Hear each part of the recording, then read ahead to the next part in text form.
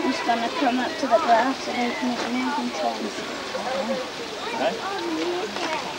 and it, it, so that's why we don't do it. So what, what you basically do is you can only do short distance. Okay, a couple of questions here, then I must go. Yes. Do they see very well? Um, they don't see the same range of colours that we see in the work that's been done on them. They probably, when, when on a day like this, which isn't